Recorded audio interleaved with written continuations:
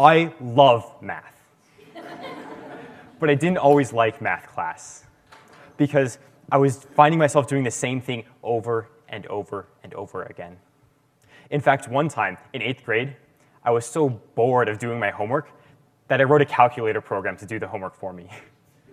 now I'm a computer science student at UT Dallas. I still love math, and I love programming, and I love using one to further the other. But that's why it makes me so upset when I see a math education system that fails to inspire. Because we're teaching math as if it's not a creative pursuit. Imagine if we taught art the same way we teach math. You go to school, and all of your assignments look like this. You fill in the uh, region with the color associated with a number, and then you turn it in and get a new one.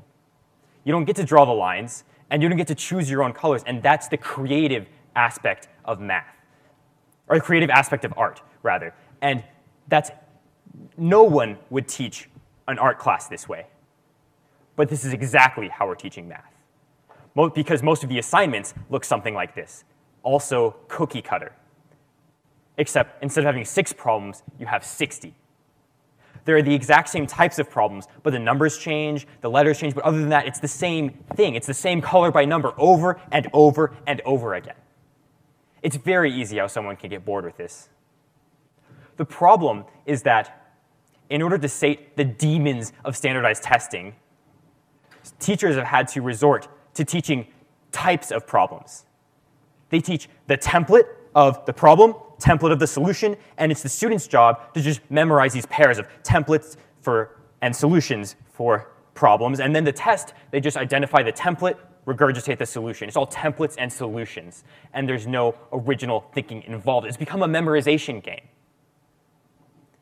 And this is a problem because teachers cannot accurately predict every type of problem a student is going to see in their future. So knowing how to solve types of problems you've never seen before is a really valuable skill, and that's valuable outside the math classroom. Everybody needs to know how to think outside the box, and where better to learn it than a subject that's about thinking outside the box? Math. Here's a checkerboard. It's 8 by 8, there, each domino takes up two checkerboard squares. You can put them vertically or horizontally. Um, and this checkerboard can be tiled with dominoes without having any overlap or dominoes hanging off the edge, such that every square is filled with a domino. Let's say I take my magic scissors. All right, you ready? I cut off that square and that square. Can this figure also be tiled? without having any dominoes hang off the edge? It's a pretty tough question. But in cases like this, a teacher can ask leading questions to help a student arrive at the answer. If they just answer, take all of the answers to the smaller leading questions and put them together. For example, I could ask, how many squares are there? How many are red and how many are black? And in the original photo, six by six, or sorry, eight by eight. So that's 8 times 8. 64 squares, half, so half, of, half were red and half were black. So half of 64 is 32. All right, 32 red squares, 32 black squares, but that was before I cut two off. So now there are 30 red squares and 32 black squares. Next question. Can I place a domino such that it covers two black squares I don't think so. I think every domino, no matter how I place it, has to cover one red square and one black square, or one black square and one red square. Going back to the bigger question, if I've got 30 red squares and 32 black squares, and each domino takes one of each, I'm going to be left over with two black squares at the end, no matter how you do it. So there are going to be some gaps in the solution. So therefore, it cannot be tiled. And most students when they get this problem will say, does this, do, I remember this one from class? Any of my classes? No. Then I give up. I don't know how to solve it. Instead of taking the answers, taking the things they do know and using them to find the thing that they don't know. Now, this art of asking leading questions to try and explain a different question. I mean, explaining a question with more questions sound, sounds confusing, but in some cases, it, it can lead the student to the answer. It's not new math. It's called the Socratic method of questioning. And let's just say it's been around a little while. The thing about the Socratic method is that it's a really good way of explaining things to people. And that's the next element that's missing, is explaining. And I don't mean teachers explaining things to students. It happens all the time. I'm talking about students explaining things to other students, especially when the other students don't already understand what's being explained. This is a really valuable skill outside the math classroom because no matter what job you have, you're going to have to, whether it's business or sales, you're going to have to explain your ideas to other people. I mean, a history essay is just someone explaining their ideas to someone who doesn't already agree with them. That skill goes everywhere. And instead of learning it in a subject that's about explaining things to other people, math, we're just not learning it at all. Explaining is an art because there's no one best way to explain something. There's rarely one best way to explain something, but some ways are better than others. So finding which ways are better is pretty challenging, and it just takes a lot of practice to do. And we're not giving students practice explaining things because it doesn't fit on a multiple choice exam. And being able to explain something in your own words is indicates a much higher level of understanding. In Bloom's taxonomy of knowledge, that's a much higher level of understanding, being able to explain the answer rather than just compute the answer. But when we're testing our students for knowledge, we only ask for the latter. Let's go to an example. So when I was in middle school, I would argue with my friends about anything after class. And on this day, we were debating the biggest conundrum we could find. Is 0.9 repeating equal to 1? Most people thought that it was a little bit less than 1. Some people thought it was approximately equal to 1. But once one of my friends said, no, it's equal to 1. Equal to 1. We asked him to explain why he thought that was the case. And he gave this explanation.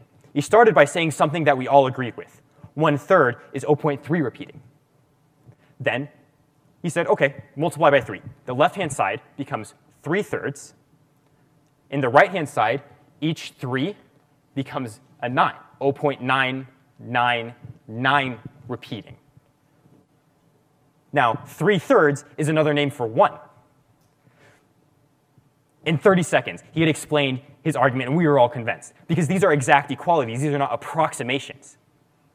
0.9 repeating is just another name for the quantity 1. The same way 2 minus, 3 minus 2 is another name for the quantity 1. The best part about this example is that the student used logical reasoning to connect each step to the next. Each step is well explained why it has to follow.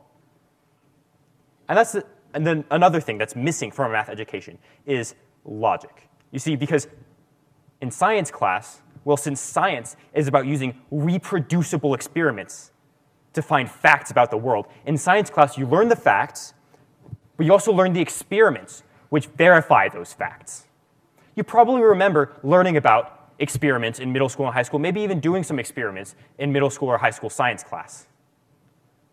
Now, math is about using logical arguments to find facts about the world. And we learn the facts. We learn the facts all day long, but you don't learn the logic behind why they must be true. If you ask a student, why is the quadratic equation true? They'll probably tell you, because my teacher told me so. Or because it's written in my textbook. Somebody else is smart and they think it's true. It must be true. That's not acceptable because we need students to be able to critically evaluate arguments.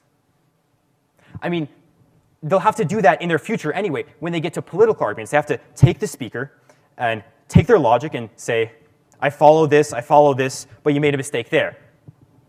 Something like that. We want students to be able to critically evaluate logic, to be able to raise their hand and say, teacher, I don't believe you. Why is that true? But we're not giving them the opportunity to do that. I don't think that fits into a multiple choice exam either.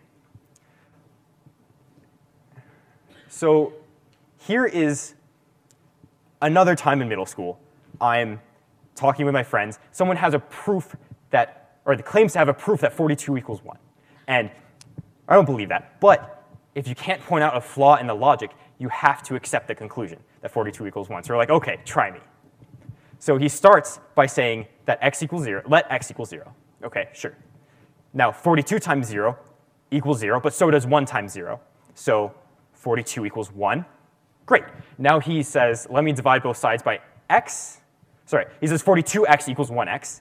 Then he says, let me divide both sides by x. And now he has 42 equals 1. there must be a mistake somewhere, but where? Each step seems like it follows from the previous, but it doesn't quite, because going from step 3 to step 4, we divided by x. And x is 0, so you can't, you can't divide by 0 because you can't divide something by nothing. That doesn't make sense. Like, what would, for, what would 42x divided by 0 even be? Right? That doesn't make sense. So there's a flaw in the logical argument. We want students to be able to identify these flaws because identifying this flaw is almost the same type of thinking it takes to identify flaws in other arguments, like political arguments. Take this argument. If we allow more interracial marriages, then marriages will become more common. If marriages become more common, then incestuous marriages will become more common. And we don't want that. Now, this is a real argument. this is a real argument given in the Supreme Court of California in the majority decision in 1948 against or in favor of anti-miscegenation laws. You see, the author commits a slippery slope fallacy going from step one to step two to say if we allow this type of marriage, then more of these types of marriages will also happen. That's, that's a fallacy, but identifying that fallacy is the same type of thinking that it takes to identify the fallacy in the previous example that step four did not follow from step three in the previous example. Step two does not follow from step one. Now, we're not getting students to be able to recognize these flaws because they're just accepting what their teacher is giving them. In fact, I'm surprised students have any creativity or original thought after 12 years of being beaten over the head with the same mindless memorization games day in and day out. It's no wonder they hate the subject. It's a shame, because it's not a bad subject. In fact, I had some pretty good math classes. Um,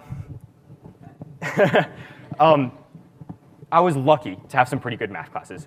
My math teachers did not just give us problems from the textbook. I mean, they had to give us some problems from the textbook so that we would be prepared for some standardized tests somewhere in the future. But after that, we had challenge problems. And challenge problems were not problems that the teacher told us how to solve in class. He gave us all the tools to solve in class, but he didn't tell us how to solve them. Instead, that was our job, to go home, put these tools together using logical arguments, connect them with logic, and then find the solution, and then explain our solution to the challenge problem, as if the person we're explaining it to doesn't already know the solution. And that allowed me to not be bored in math class, because it, it gave some creativity in finding that best explanation. Or if you can't find the best one, try and find the best one, try and find one that's better than others. And these are changes that a lot of math teachers already want to make. We can do this, and if we do, society can be improved, but it starts with improved education. Now, this is all about empowering the connections that we have with each other.